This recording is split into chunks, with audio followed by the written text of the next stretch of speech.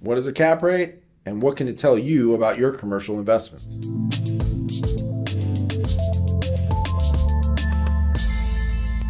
I'm James Antonucci sharing what I know to give you confidence in your commercial real estate investments. So, what is a capitalization rate?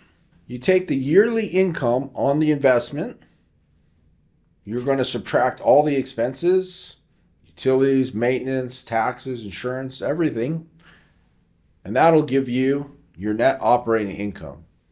That net operating income is divided by your purchase price, and that will give you your cap rate. So, what does a cap rate show me? Well, again, it's just a ratio. And it's a little bit different than the GRM in the sense that the lower the cap rate, the better for the, the seller. The higher the cap rate, the better for the buyer. It's just a ratio that gives you an idea of the performance of the investment, income, expenses, and its performance. Subscribe and follow APLA Group for our entire library of real estate knowledge.